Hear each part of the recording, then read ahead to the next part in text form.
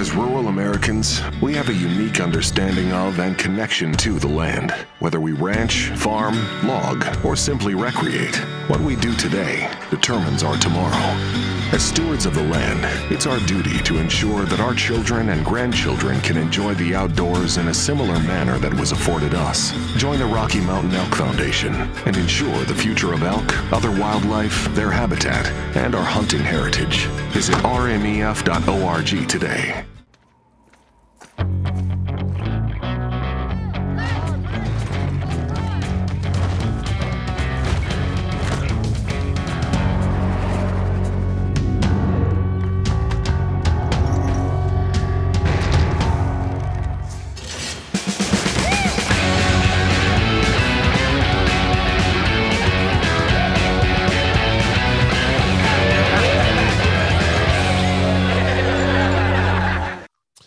Welcome to episode number 42 of According to Flint. And happy to have, I'm going to call him a good friend, but maybe, maybe he does not feel the same. But uh, coming to us from a Motel 6 somewhere in the middle of Wyoming, eating, eating crappy food from the lobby and drinking bad American coffee.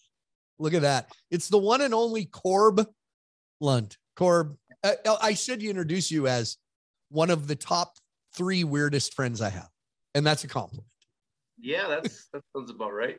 I, am sure you. I, I'm sure you've got some weirder friends than me, but yeah, I won't name them, but I yes, most definitely. And I should say, as we record this, it's fitting and wanted to have you on as you tour across North America, getting ready to do a couple of big shows in Montana, Billings That's and right. Bozeman this weekend.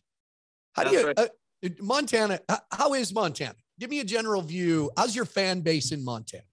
It's one of our best. I mean, I, I personally like Montana because I grew up coming down there, and our, our place is just six miles north of the border. So I'm pretty familiar with, with Montana and and uh, from a personal standpoint. But yeah, our uh, our audience is probably that's probably one of our best, most supportive states. When you look out there, it's because I kiss yeah. your butt all the time, and put you in my songs. Every, every, every Am I in a song? Am I in a Montana? Oh, just not me personally. The the royal you. Uh, how about it? How about that? Can I can I get in a song like you know the author CJ Box? He's a the Joe Pickett novels. He's a Wyoming author. He takes people he meets and puts them in his books. Like uses the name as a character, not you know like Dusty Tuckness was one. Um, the, uh, what about could you hook a brother up? I mean, well, mention me in a song? I have quite a few uh, people that I run into in my songs, but usually it's because they piss me off. no kid. So, but do do they know? Well, their names in there, so I don't know. Can you give me one person that pissed you off that you put in a song? Can you think of one well, off the my, top here? My best friend Holt, Holtman in the truck song, you know, uh, he he, you, you know that truck got stuck song of mine. Yeah that's that's literally true from start to finish. It's all it's entirely uh, it's a it's a true story top to bottom. And it, he was the one that wanted to go check his cows for 20 minutes, and I had a rehearsal that day. And I said, "Well, I got to make a rehearsal." He's like, "Yeah, yeah, it'll take 20 minutes." And then he got us stuck out in the middle of the prairie for 11 hours, and that and then he he appears in the song. Is that the song? Didn't the Hutterites get you out? Is that the one the Hutterites?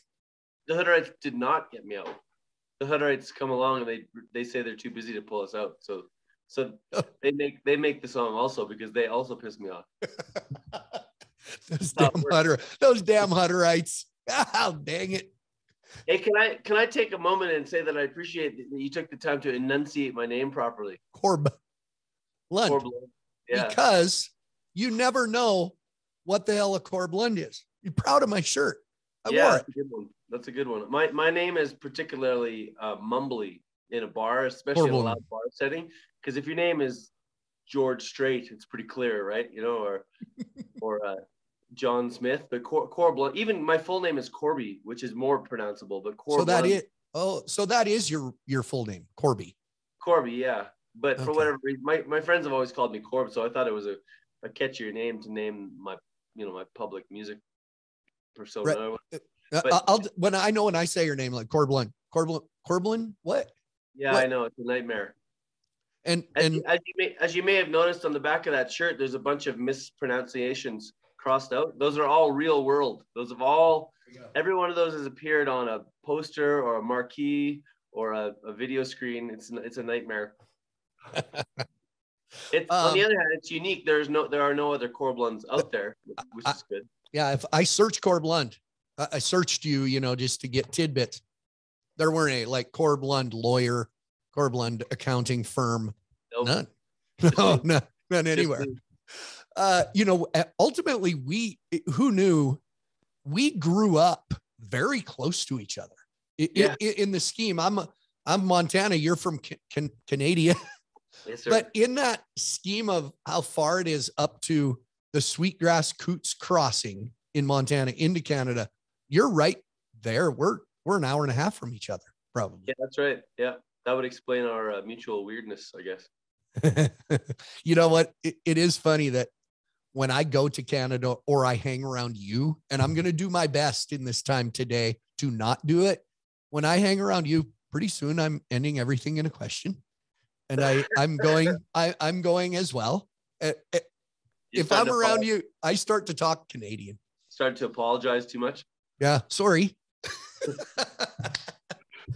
uh, Yeah. but but I do think, you know, I got to think I I I love having you on my show in Vegas. I love to hear your music, the stories you tell in your songs. I nod my head, and that obviously, that obviously, Montana and Alberta are very similar in in the the ag background. What we see, the landscapes we see. We grew up with the exact same that Rocky Mountain front um and that's it, it- that allows me to relate to what you're doing and Yeah, I know what you mean. I, I've discovered that uh, like it's it's tough. It's it's a tricky proposition for Canadian artists. It because in the states because uh, just because of the way that history is unfolded, like the American entertainment industry is just a huge, massive beast, right? Which is like comes through all full spectrum media at everyone, right? And so and and so it's tricky to to figure out how to uh, insert yourself into that while still maintaining your own identity but the, what's worked for me is that I've discovered that all of the Western stuff and the Rocky Mountain stuff that I grew up with translates all the way down to Texas, right? Because because the the cowboy community is is you know as you know from rodeo is, is a really tight knit um, uh, culture and and it extends all the way down the Rockies as far as far up as us. So it's I, I found that's a, a good way to to um, relate to people in the states because uh, they get that and and, and like you said I, the culture where i'm from is pretty much similar to what what you're doing Mhm. and and down all the way down really as far as cowboy stuff goes right through my years of going to uh, mostly the calgary stampede where i had the opportunity to meet a lot of canadian country music artists and then it's always cool to see them translate. It is a hard it's hard to break into the business in the us for canadians. There's been a few. You know paul brandt was one i i remember liking. I met him at calgary and and they're emerson drive. Aren't they alberta Yeah. group? yeah. And uh, terri clark's canadian. Terri Clark, uh, you're basically you're my Anne Murray. Well ian tyson ian tyson is our Ian. patriarch like he's He- our godfather. How does a guy, how does a kid like you, because you're still a you're still a kid compared to Ian Tyson, compared to compared to you compared I- to you compared to me. I, remember 20 years ago, my mom going, oh, that Ian Tyson. Oh, she did all time favorite. And I think that's why she likes you so much. How does a kid like you become so tight and such very good friends with a guy like Ian Tyson? Well, I mean, it was probably inevitable that we would meet because we're from the same area. He's only a couple hours north up the Rockies. But he, I mean, if you're a Western kid growing up in Alberta, he, especially if you're into music, he he looms over everything, right? And it's funny because he he's had greater successes in his earlier years than than any of the other uh, country artists we've been mentioning. Like Ian, Ian's had his music recorded by Neil Young and Johnny Cash and like huge names, right? And and um, so he he kind of looms large over the musical landscape in Alberta. And so I guess if you're gonna play, and, and you may we should also mention that my stuff is probably a little more rural and a little more authentically um, Western than than a Right. lot of radio stuff. So if, if if you're gonna do that, like I did, it's probably inevitable that you're gonna meet the guy. So because I mean we we're playing a similar genre and we live in the same area. So I, I mean it we might have met and he might have thought I was an asshole, but but it didn't turn out that way. We we became good friends. well, but that would be the natural progression. Yeah, I think- like I met him the first the first time I met him was on a years and years ago. I, I was on a. Can we swear on this show? A Little bit. Yeah. No, you're good. Yeah, it's mine. My name's on it. Yeah. um, the first time I met him was I was playing at a uh, a tribute a, a- Tyson tribute show actually, and it was traveling around Western Canada with a bunch of artists. And he showed up at the Calgary one and and um, and uh, approached me and told me that he was familiar with my Five Dollar Bill album and really liked it. And I was I was pretty scared to meet the guy because he's got a, a reputation for being a bit of a curmudgeon. So, but he was he, he was really nice to me. He's been a sweetheart our entire uh, friendship. He's been great. you know i should and should have from the beginning but was going to get to this. When you you talk about your music i don't you know to me you're you're songwriter Uh, when i think of you everybody's got that title whether it's entertainer uh musician. I look at you as a songwriter and you perform those songs but it, it's the old we play both kinds country and western you know the old line that everyone uses. You talk a lot around me have talked a lot about Western music, not necessarily country. Because who know? I don't know what country means anymore. Well, I- I don't know if you know the history of that, but at one time though, there were two different genres, and at some point in the '50s, they say there was a DJ who who just slapped them together on a show, and they became linked at the hip from then on. But but before that, country music is Appalachian music, you know, from from Kentucky and, and Nashville, and it has a lot of Scots Irish influence and bluegrass, that kind of thing. Mm-hmm. Whereas Western music was was cowboy balladeering and, and cowboy story songs, you know, like Little Joe the Wrangler and stuff. And at a certain point, those got crushed together, and I- but they're different. And I mean, I like country music too, but I don't have any connection to Appalachia really personally or my family history. Whereas in my, you know, our whole family tree stretches down to Utah for 150 years ago, ranching. So that, yeah, you're you're right. They're different. That explains. It does explain country music songs. You and I have had the opportunity to ride in the same truck together, and and it was not long, but w- so we were at a discussion. It was, I believe, my daughter was there and a, a friend of Did I, ours give, did I give you that whole spiel in the truck already? the what? Which one? The one I just did about about the, the, the Uh, I can't. Some on my show maybe, but Okay. I I forgot. I had forgotten what the country part was. The Appalachia that that it that com- makes complete sense. So it it explains why you and I have similar interests in mainstream country music because it's more Western influence. I, uh, last night, as we do this, I sent you a screenshot. I was doing some stuff and had Pandora on, and everything that glitters is not gold by Dan Seals came on, and I sent it to you. But Yeah. really, that's a Western song That's in right. essence. Yeah, I mean, there used, there used to be a smattering of of cowboy stuff on the radio. Like George and Garth were the last guys to hint at that, right? Like you know, Garth had much too young, and and and and George had lots of cowboy songs. But but yeah, you don't hear any of that anymore. Just me and Ned, just me and Ned and Chancey and Cody, pretty much. Cody John. I was going to say Cody. Um, yeah, there He's is. he's kicking butt. Oh my gosh! But don't you think there's a craving for that? Chancey Williams is doing very well. Ned Ledoux, of course, has his following. Um, Cody Johnson is killing it, selling out stadiums. Doesn't that indicate to somebody in the business, somebody in a position of power that, you know what, people are craving this? They watch Yellowstone for God's sakes, like like it's a documentary Yeah. people people are craving the lifestyle play, craving the culture Well, you've probably noticed. It seems like about every 15 years or so, cowboy stuff gets popular. And like, you know, back in the 70s, Urban Cowboy ignited it. And then in the 90s, Garth kind of ignited it and all that line dancing stuff. and then, and then, and now Yellowstone's doing it again. But it seems like, I think, I think the cowboy, you know, aesthetic is eternally appealing to people. And it just, it's always there as we live that way. Right. But, but then every 15, 20 years, it pokes its head up into the mainstream consciousness and people really like it and re- remember how cool it is right? So i think you're right. I think that's i think we're at a high point right now. My, my shows we've been out for a month down the all down the american west and our shows have been it's been the best tour we've ever had after after covid. I wasn't sure but but we've and every night i've been asking who's seen us before and who hasn't. And i'd say it's about 60 70 percent new people. So that's pretty awesome. Yeah it's that line you want to watch you when you have 70% new people you go what we do wrong last time that the people didn't come back? But you're also very happy that it's new people because well, of that. Are, the shows are bigger too, so it means add people, new people are adding to it. So, so to your point, I think I think maybe there is a taste for that kind of thing, and people are excited about it again. When when I do shows in different parts of the country, I can I could tell you if you named a city I I go to as part of the PBR. When I look out in that crowd, I can tell you what kind of people are there like, hey, when we go to Kansas City, they're a real rowdy crowd, but they're also knowledgeable. You can kind of pick out the culture. What are, when you look, do you have a consistency when you look out from the stage? Do you see a certain kind of people? What is your culture? What's the culture of the people standing there below stage at your show? That's a really good question because it depends on where we are.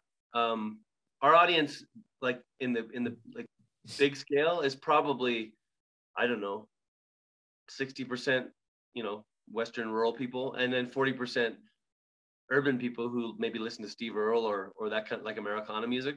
Mm-hmm. So it's a it's a real mix, and and and the blend depends on where we are. Like earlier in this tour, we did Spokane one night and Seattle the next, so it's a whole it's a flip, and then we did the next night we did Portland and then Bend, and then the night after that, so it's a whole all same states. Yeah. yeah. Spokane, Seattle, same state, different culture.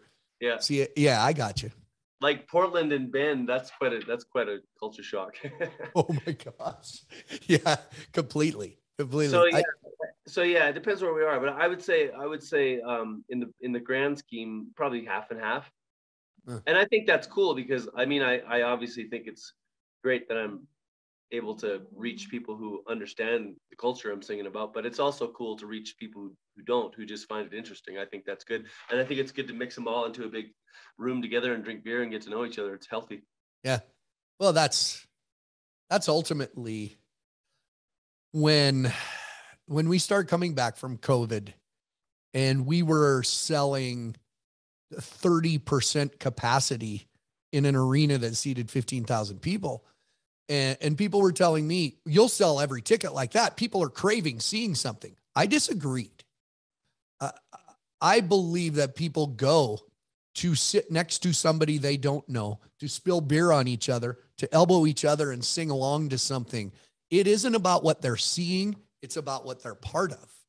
Because now we're seeing there isn't any restrictions, it's out of their mind and they're going crazy.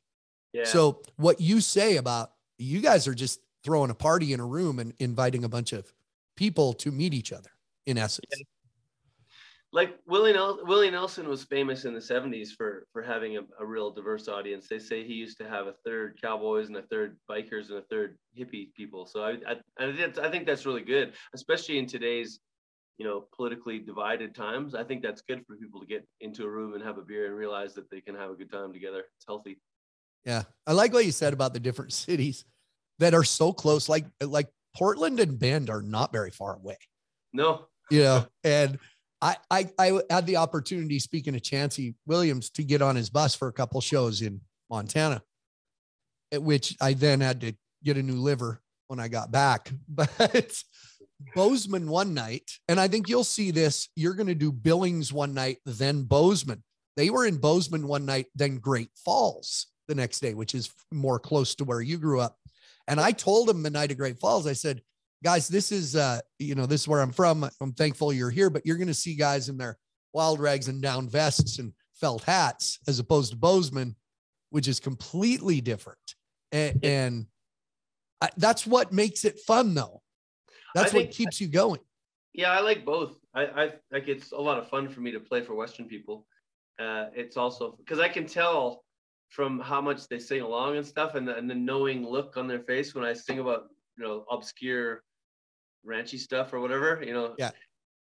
But it's also cool to introduce that to people who who, who don't necessarily know what I'm talking about, and that actually that actually comes up in the writing because it's it's a tricky thing to write stuff with layers so that there's enough inside baseball stuff in there that you know people who live that lifestyle know that you know but at the same time but at the same time having overall an overall narrative that's understandable to the average person even if they don't get all the subtle stuff.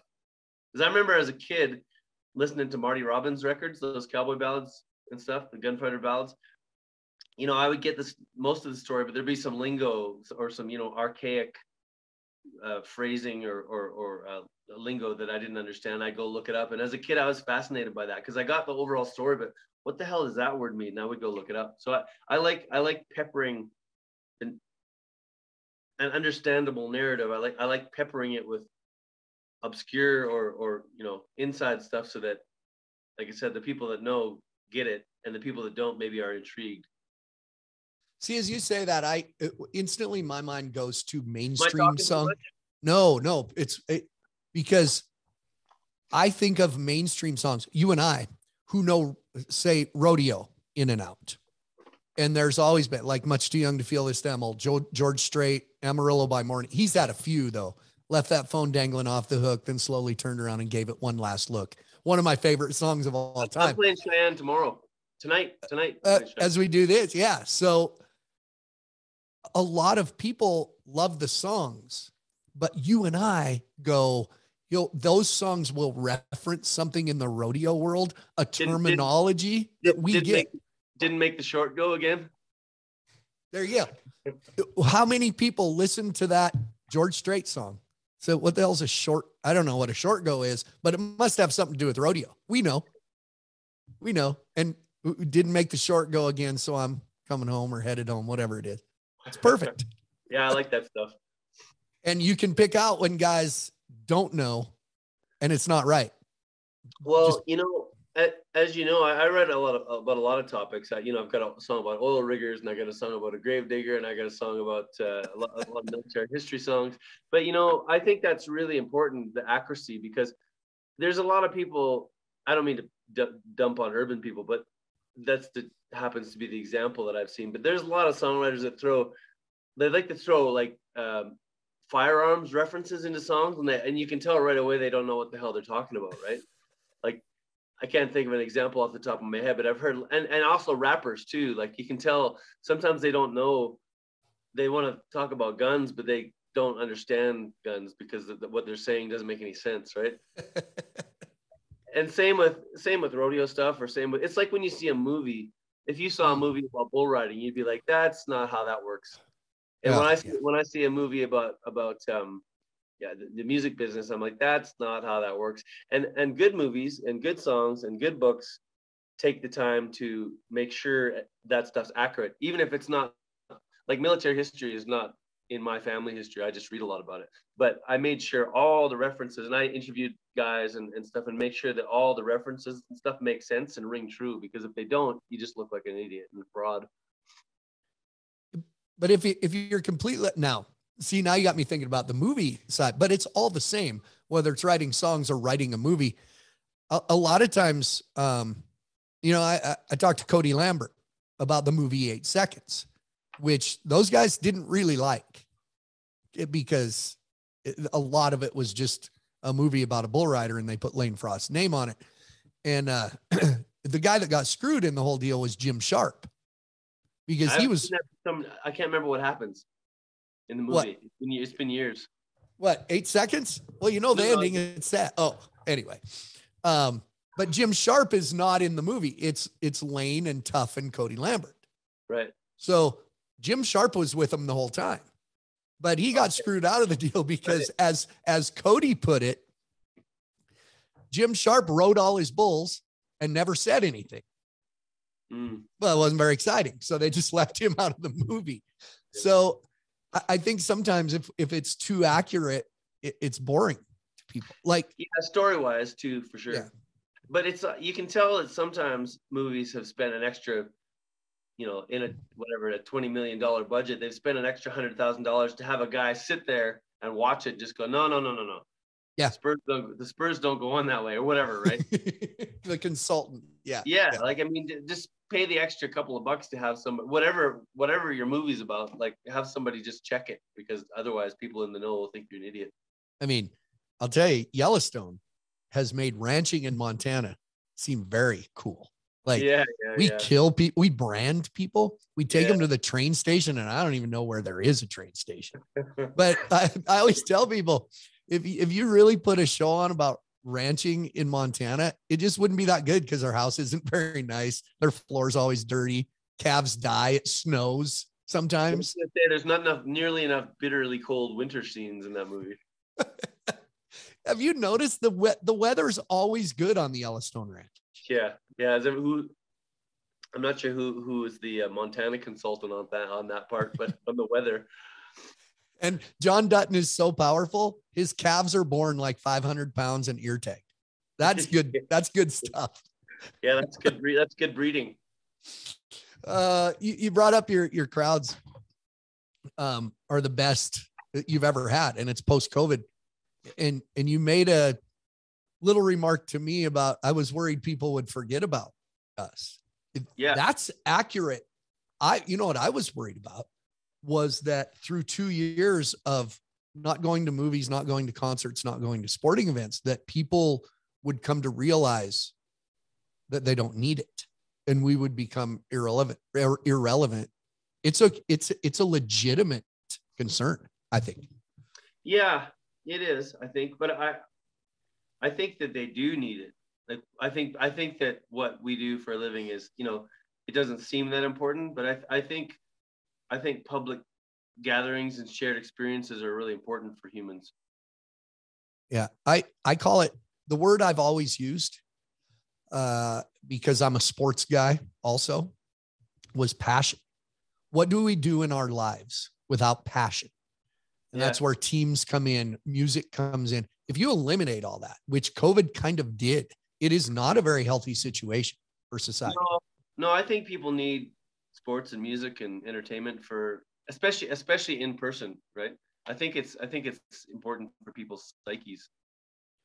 yeah it i know i need it it's it's why guys like me when people say when are you going to retire it isn't as easy as it sounds Yeah. because you have all these little things like you say what you want. You're sitting in a hotel. As we do this what what town are you in right now? Denver. oh you're in denver. And then so you're going you're making your way north to montana through wyoming correct? That's Yep.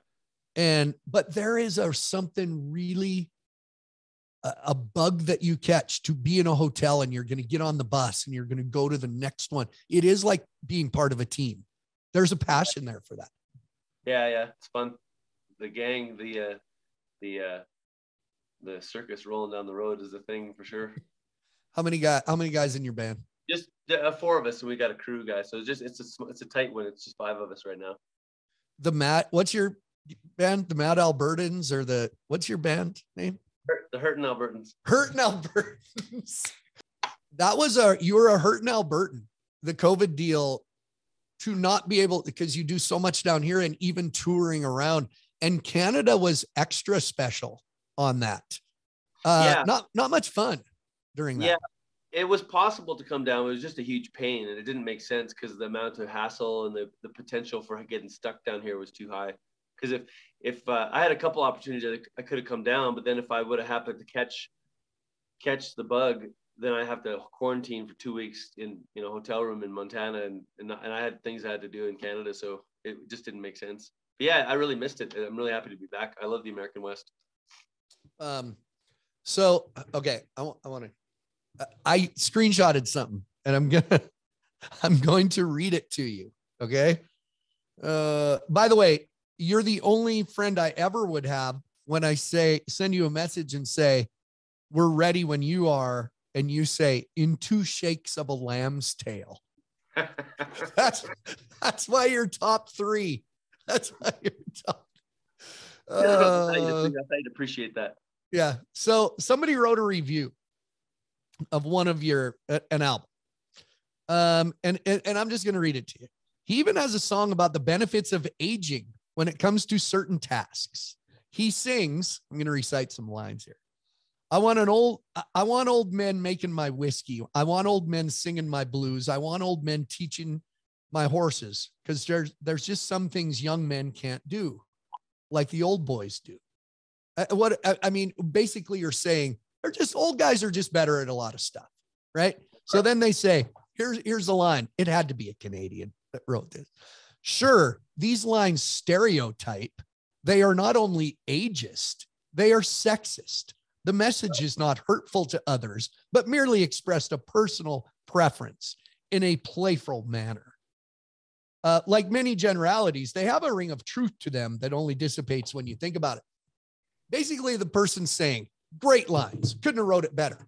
Uh, but it is pretty ageist, pretty sexist. Don't you get sick of that crap? I mean, uh, yeah, I mean, it's, and, and it's, it, it's they compliment you.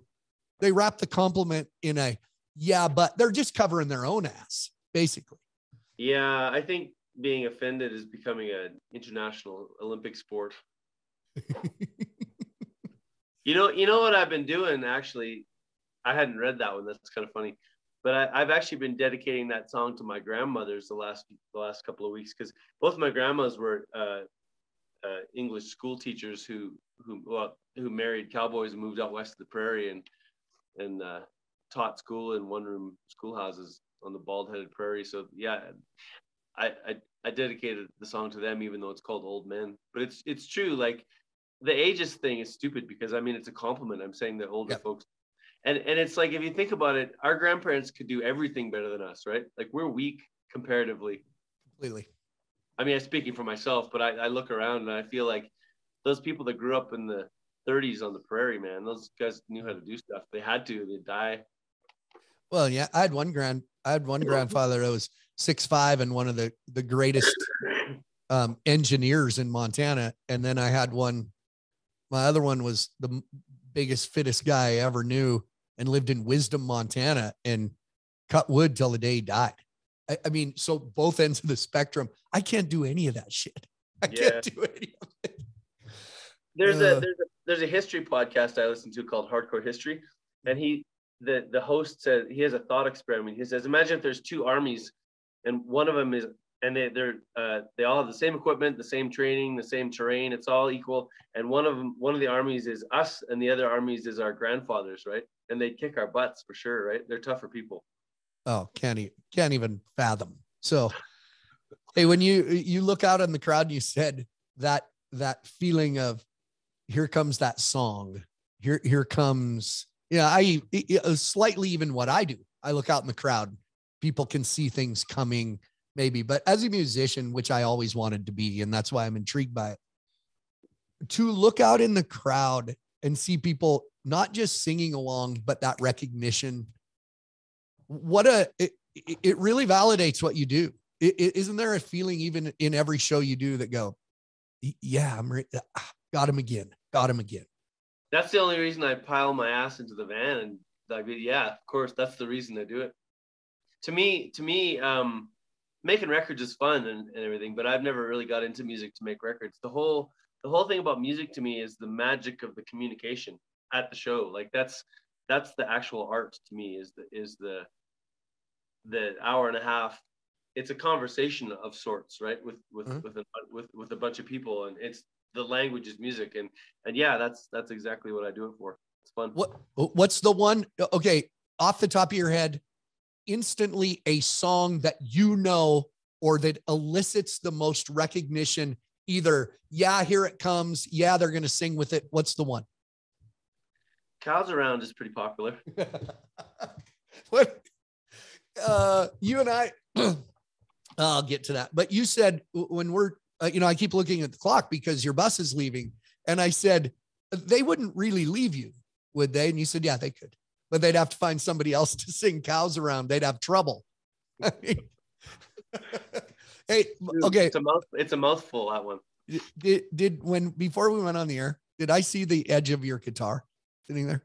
Yeah. Yeah. It's here. Can you, okay. I want a snippet of cows around. Look at, I'm going to make you do this because okay, I don't I'll, care. I'll tell you what. I'll tell you what I'll do. I, I, I wrote too many verses for that song. Just I tell people, I tell people at shows that when I write about topics I'm especially passionate about, I, I write too much. so there's extra verses that didn't make the song on the on the on the main recorded version. So I'll, Oh, know, I'll play you those. How's that sound? That's a hey, I'm good.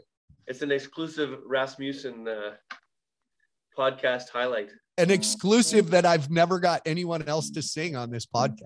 So you're the first. You know what's interesting? I wanted to mention that our friendship is interesting because it's the only one that I can think of where I've spent more time with you like on air than off. I know. Right?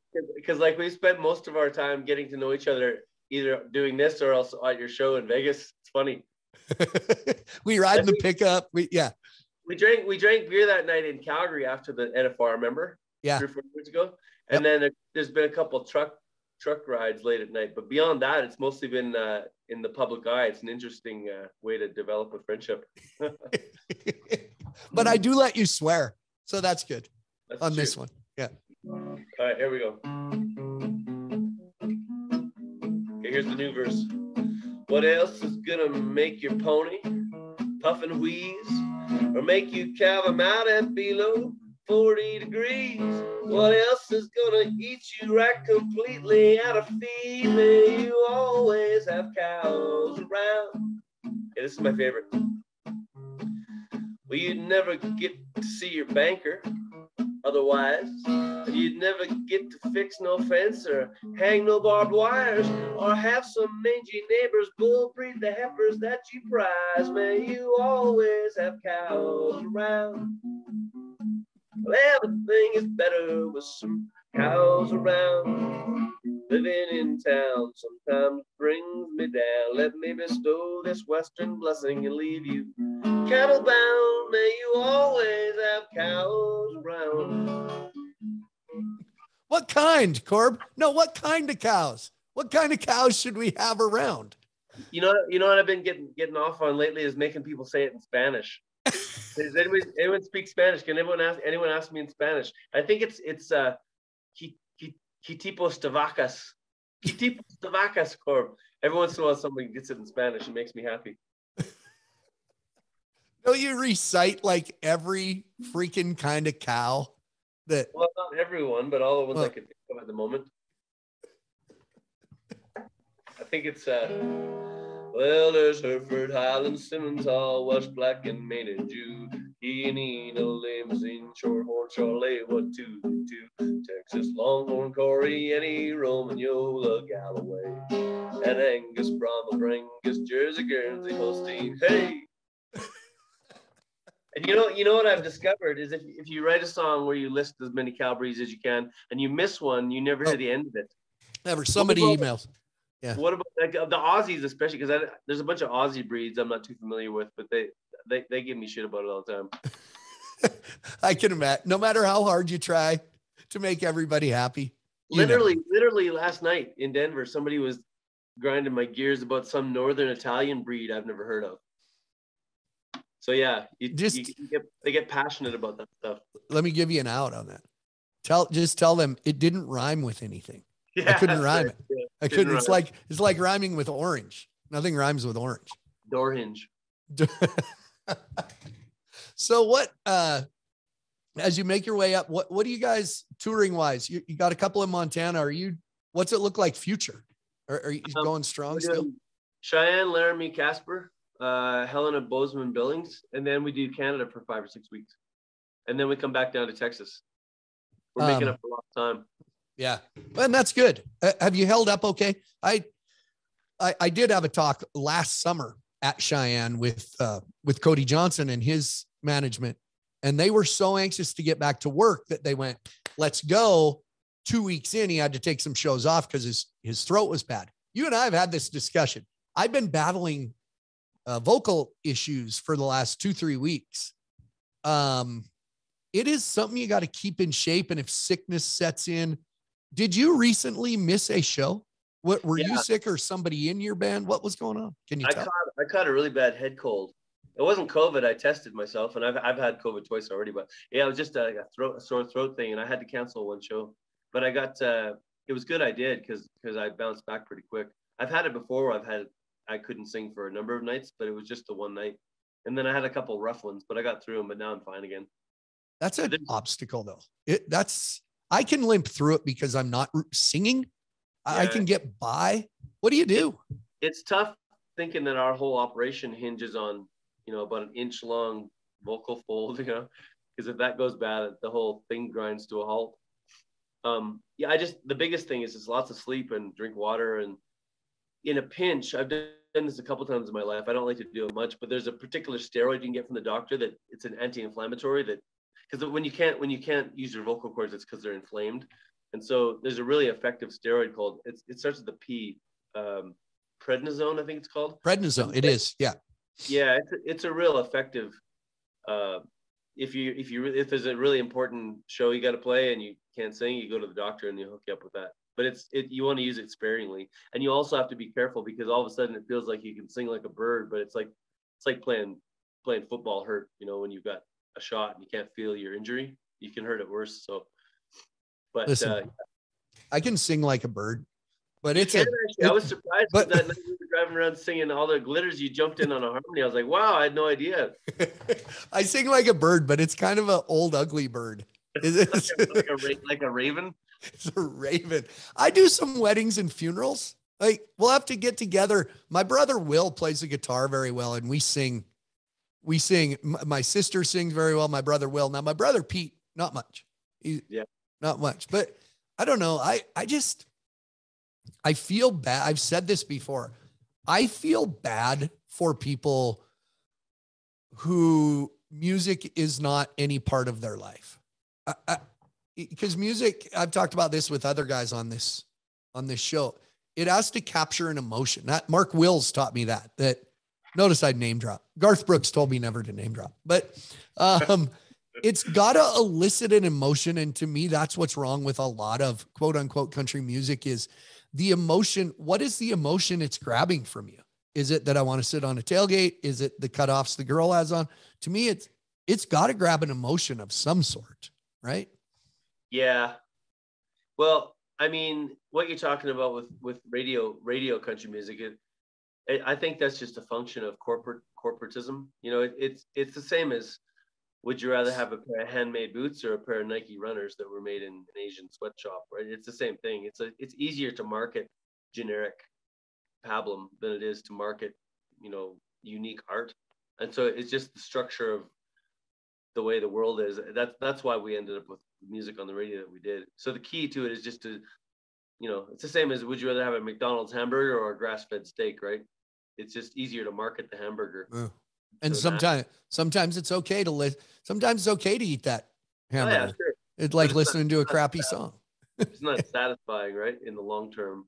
Yeah. So it's just it's just a matter of, you know, if you if you decide that you like, you know, more art, artistic or more music with more depth, better. You just have to seek it out it's not you're not going to find it on the radio, AM radio dial usually anymore. Right. And, and to so much of the public success in the radio in the music business is ooh he's on the radio. Ooh that's on the radio. And there's so many people like i said i've said this a lot. I've really fallen in love with that music that isn't regularly on the radio. You know i like the aaron watson and chancey and you and ned ledoux. I mean they're they're everywhere out there. Um, there's a whole culture of it but and that isn't being on the radio is not success in not that in within the music business is not determined if you're on the radio. You have your own reward and your own crowd and and what you are satisfied doing correct? Yeah. I mean i've always been on the fringes so i've never i've never really measured myself by mainstream radio success because i knew that wasn't going to happen anyway. It's just not what i do.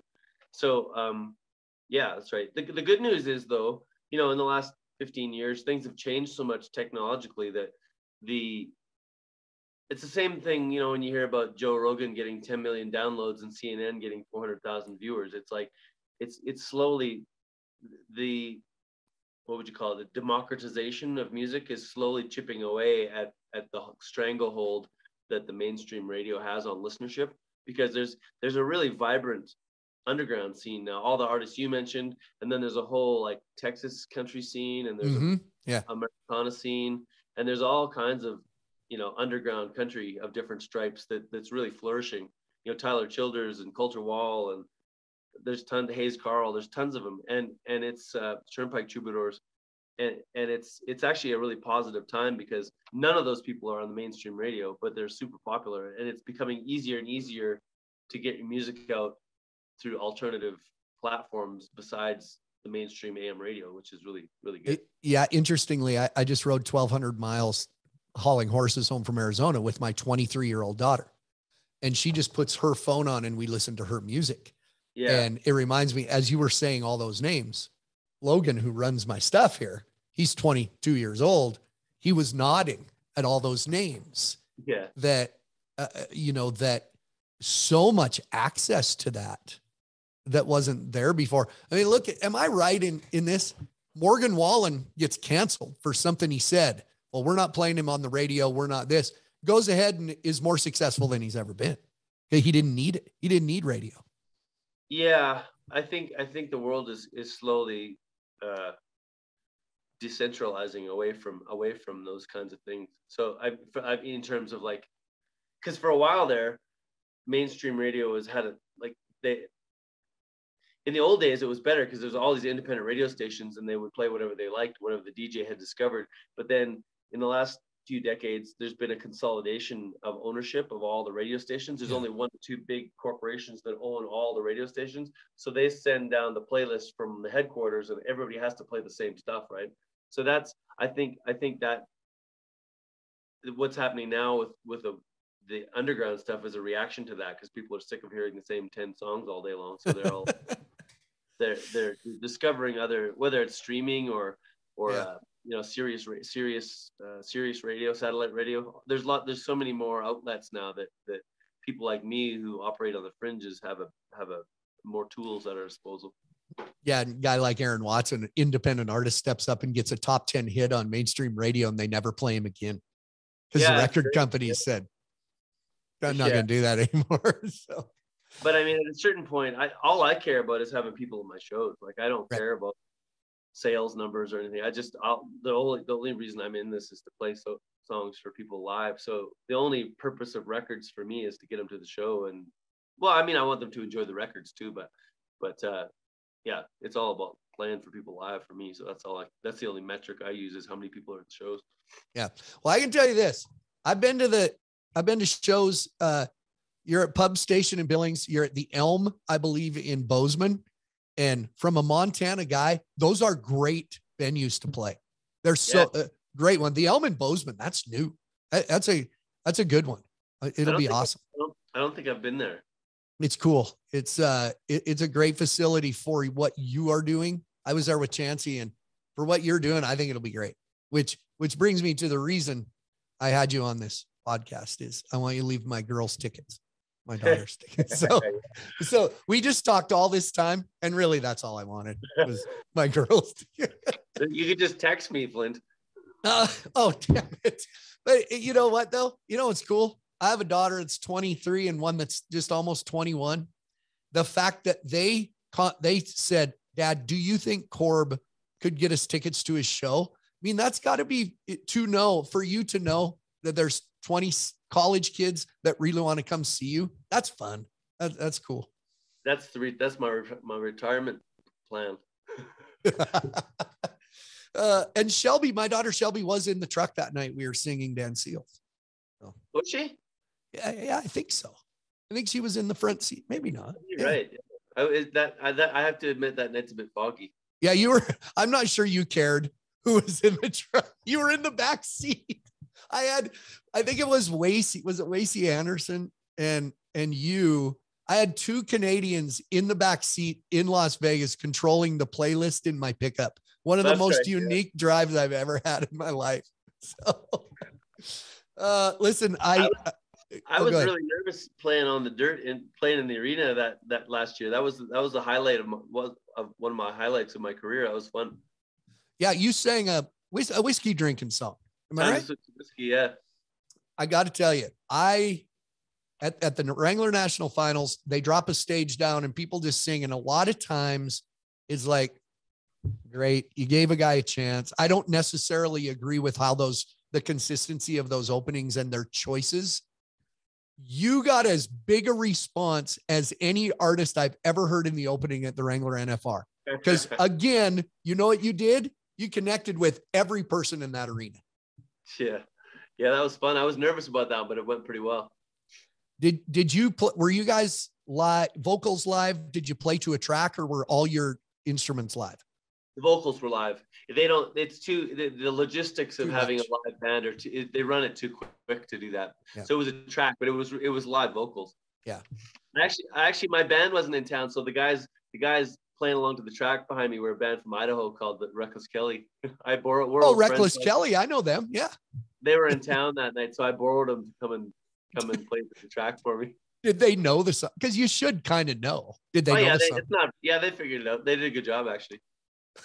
But with all the pyro, with all the pyro and stuff, I'm not sure anybody really noticed too much. Yeah, it's like George Strait. All the lights and all the smoke.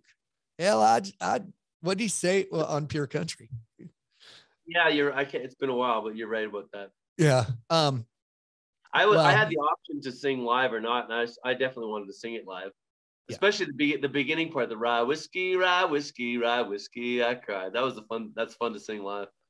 Well, when you come on my show, uh, my friend Kurt Blake, who helps with my show, he asks every artist if they can sing rye whiskey or the castration of the yellow stud. That's his two requests. So you're the only one. You're the only one that can do that.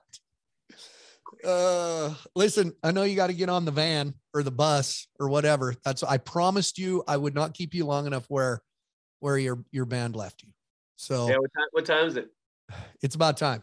It's about you. You got to get going. Listen, buddy, I I just appreciate you all through the years. I know a lot of, like you said, a lot of our friendship is is on air, but it's real. That we never just do an interview. It's a bullshit session. It's a it's knocking ideas back and forth, and I appreciate it. I I think it's I love what you do. I, I'm I'm a huge fan. Yeah, me too, man. It's it's it's been fun to get to know you over the years. Hey, I want to ask you, what's your favorite? What are your favorite rodeo songs? Um, my number one is probably I can still make Cheyenne.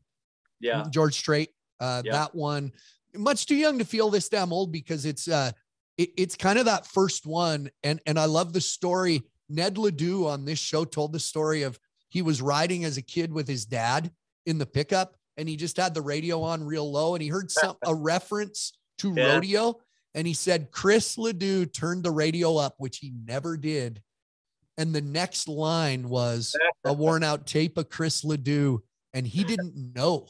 He didn't. Really, it- and he went, oh, oh, oh. And then they became great friends with Garth Ned, Brooks. Ned was in the truck for that. Ned was in the truck. He was like 12 years old. I gotta ask him about that. Yeah. funny. And, and to, so that warms my heart. And that's a real connection. Well, and Garth went out of his way to help. I think I think I think Garth helped uh, Chris get uh, a record deal or something, didn't he? He, he well, he, he elevated him. I know, Yeah. I don't know all the specific, but hey, I'll, I'll tell you a line and then I'll let you go. A line from an old Chris Ledoux, not mainstream radio, when he first had all the cassettes. And every year when I go to Oklahoma City, I sing it.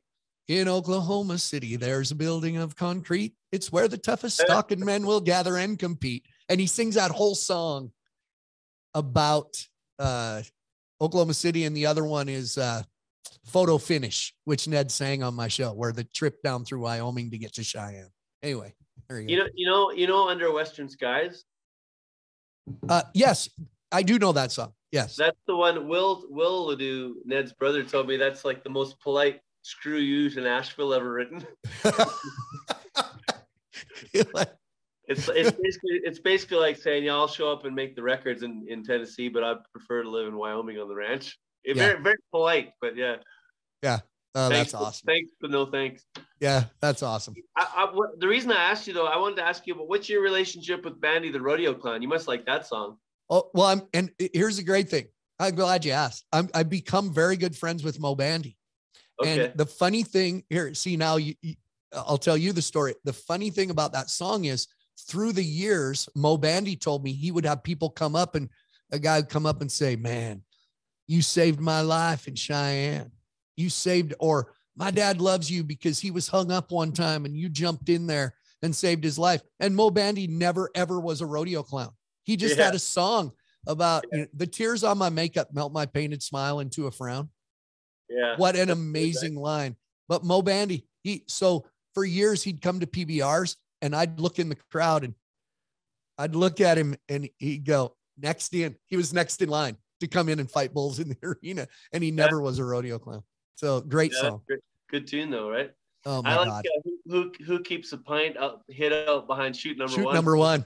The Yeah. old school rodeo clown reference. Like we joke about it in the the bullfighter locker room that we drink coffee and and we're like not like it used to be. There was more, there was more going in the bullfighter room back in the old days than now. Well, I remember I remember when I was a kid following my dad around when he was bulldogging, things were a lot more loose than they are now because guys are working out and thinking about fitness and ba- in the old Yeah. days it was smokes and whiskey, you know, like